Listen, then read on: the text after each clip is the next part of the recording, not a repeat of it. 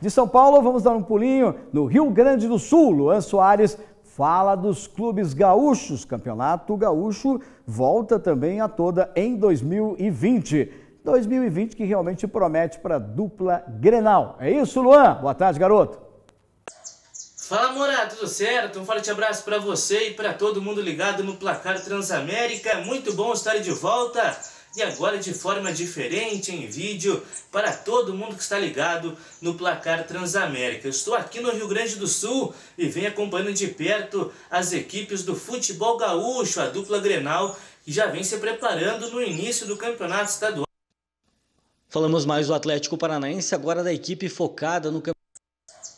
Fala, Mora, tudo certo? Um forte abraço para você e para todo mundo ligado no Placar Transamérica. Muito bom estar de volta e agora de forma diferente em vídeo para todo mundo que está ligado no Placar Transamérica. Eu estou aqui no Rio Grande do Sul e venho acompanhando de perto as equipes do futebol gaúcho, a dupla Grenal, que já vem se preparando no início do campeonato estadual, o famoso gauchão aqui no estado do Rio Grande do Sul. Vamos começar com a equipe do Grêmio, tricolor gaúcho do técnico Renato Portaluppi, ele que renovou o contrato mais um ano com a equipe do Grêmio e vai chegar uma marca histórica, né, na verdade, no tricolor gaúcho ao decorrer deste ano de 2020.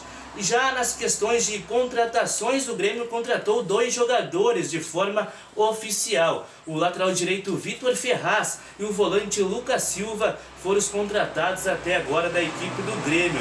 O goleiro Vanderlei chegou agora pela manhã na capital gaúcha para assinar com a equipe do Grêmio e será mais um reforço para esta temporada. Além dele, está muito próximo o lateral esquerdo Caio Henrique, jogador que passou pela equipe do Paraná Clube e agora estava no Fluminense na temporada passada, está chegando na equipe do Grêmio.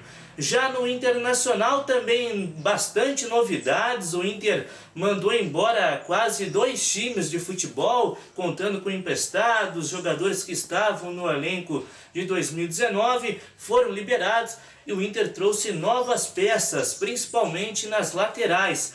O lateral direito Rodinei e o lateral esquerdo Moisés, que estava no Bahia, chegou na equipe do Internacional. Outra novidade é o volante argentino Damian Musto. O jogador chegou uh, para reforçar esse meio de campo da equipe colorado. Também o Thiago Galhardo, jogador que estava no Ceará, chegou também na equipe colorada no ano de 2020. E novidade também na questão da, do técnico, né, o Eduardo Cudê.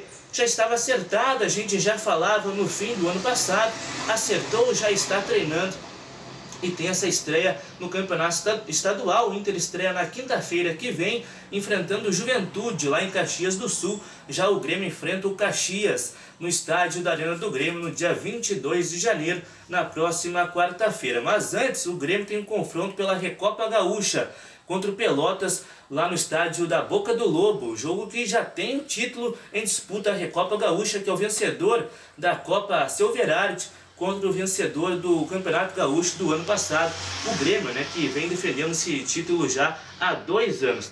Então, mora com informações do futebol gaúcho para o Placar Transamérica, repórter Luan Soares.